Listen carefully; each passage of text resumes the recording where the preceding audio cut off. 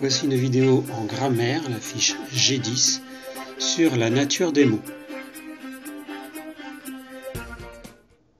Qu'est-ce que la nature? La nature d'un mot désigne ce qu'est ce mot, sans s'occuper de la phrase où il se trouve. La nature peut être trouvée dans un dictionnaire. Par exemple ici, le mot dictionnaire, sa nature est non commun.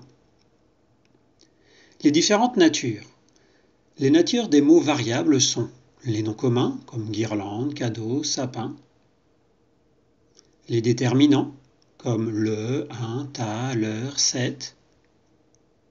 Les adjectifs comme rapide, joyeux, rouge. Les pronoms comme ce, te, il, nous, qui ou avec un accent grave. Et les verbes ouvrir, marcher, partager.